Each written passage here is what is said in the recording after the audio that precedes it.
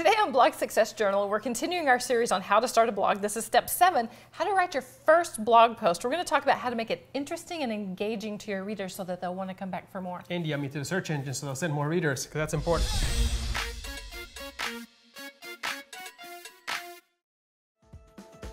Okay, now a year ago I would have said just the opposite of what I'm about to say, but these days I'm going to say write your post in WordPress. Okay, the editor has gotten so much better than it used to be. Okay, so go ahead and write it in WordPress because if you write it in Word or in email or in some other editor and then paste it into WordPress, then you're going to get into some formatting nightmares. Okay, so either copy plain text into the WordPress editor or write it directly inside WordPress. Whatever It'll you save you a lot of hassle. Don't paste from Word because there's no way to get the funk out of that content.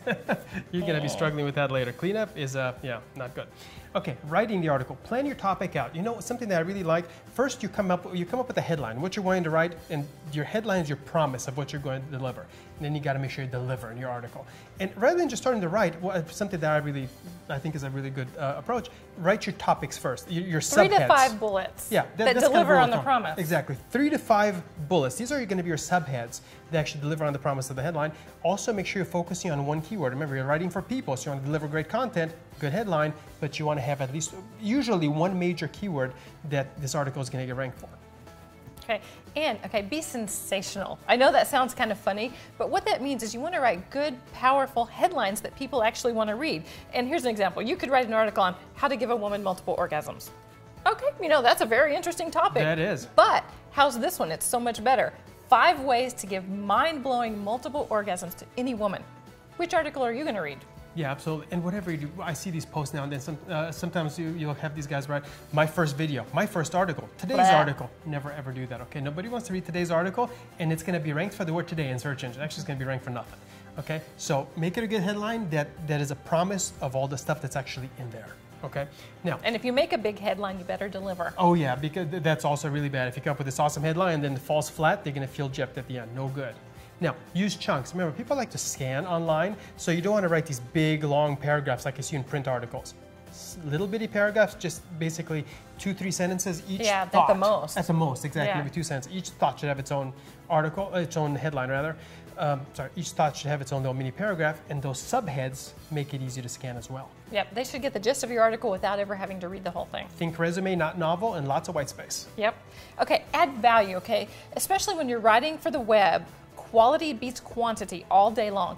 Write a really good, solid, jam packed 500 word article rather than a 1,000 word fluff piece that doesn't really have any content. You want to give people solid content, but yet leave them wanting a little bit more so that they'll come back next time.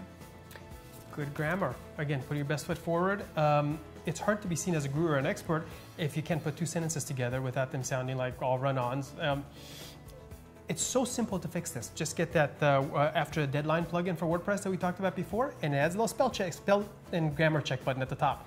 Actually use that, fix your articles. Just it's a last minute easy step that makes you look good. And use what we call the million dollar spell checker. Oh, yeah. Actually read it out loud to somebody because then it's amazing what you pick up that even the spelling and grammar checkers won't pick up. Even if you read it to yourself, if you got nobody to mm-hmm. listen to, that that's second best. But it's amazing. Read it out loud. Okay, so up. here's the thing.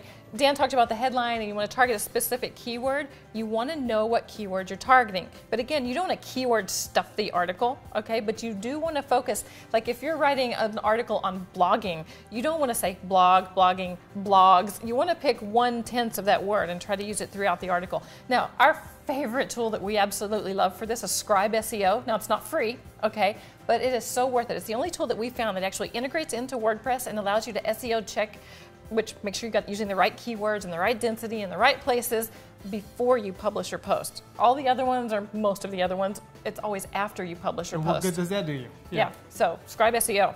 Awesome tool. Absolutely got to have that one. And you can, I'm pretty sure you can try it free. Actually, do yourself a favor and do that. Also, add links within your article. Within your article, uh, pick certain keywords and add links to other articles that talk about that keyword at length. That's basically telling. First of all, it's letting this person that's reading you, your reader, click on that to get more information. But also, the search engines are saying, "Huh, you think your other article is worth linking to, so you're linking to it." So that's a great. Uh, it's a really great SEO strategy. Okay, and on the continuation of keywords, tags, add tags to your post. Now, don't add 45 tags, okay? Pick the top three to five words or phrases that this post is actually about and make sure they are what the post is actually about. Don't just put random keywords that you're trying to get ranked Yeah, for. and, and watch our, our other two videos that go a lot more in depth about picking, what keywords are and how to pick the right tags and keywords for your post. Now, schedule your post. This may seem counterintuitive, but you don't want to be in this in, in, in this mode where every morning you say, "Oh darn, I got to finish this article because it's got to go live by nine o'clock."